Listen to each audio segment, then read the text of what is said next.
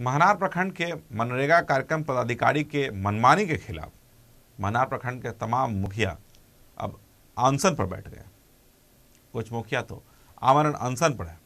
दो दिन बीत जाने के बाद उनके स्वास्थ्य की जाँच भी की गई। वहीं अनशन पर बैठे मुखिया ने बताया कि इन दिनों लगातार कार्यक्रम पदाधिकारी की मनमानी हो रही है। मनरेगा जॉब कार्डधारियों को समय पर न तो काम मिलता है और न ही उनका मेहनत आना।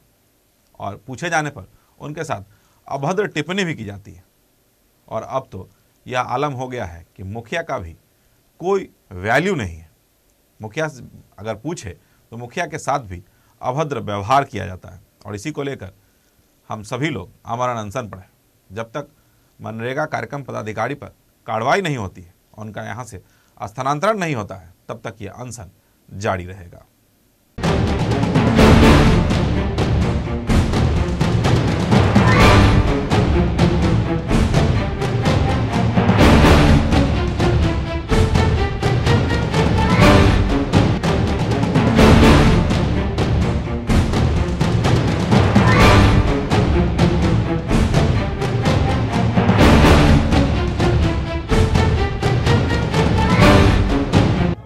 जितने भी जॉब कार्डधारी हैं, उनको काम नहीं देने के कारण अभी अनशन पर बैठे हैं। तत्कालीन कारण यह है। लेकिन वास्तविक कारण है कि पूरे ब्लॉक में किसी भी विभाग में एक भी काम बिना घूस का लिए हुए नहीं हो रहा है। चले जाइए आरटीपीएस में। दूगो दलाल आपको बैठा हुआ मिल जाएगा। चले जाइए। किसी भी ऑफ़िस में चले जाइए अंचल अधिकारी के यहाँ चले जाइए। अगर कोई मोटेशन कराना हो, बिना घूस का कोई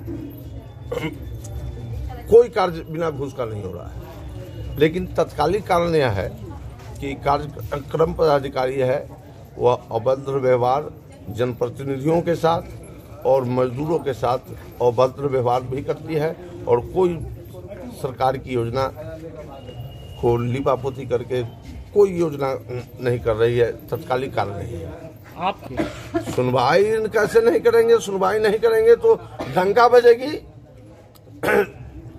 जन्म ज, ज, जनमत की सुनवाई जनमत की सुनवाई सरकार यदि नहीं करेगी पदाधिकारी नहीं करेंगे तो जनता आंदोलन पर उतरेगी। आज अनशन हुआ है कल प्रदर्शन होगा परसों इससे बड़ा कार्यक्रम होगा।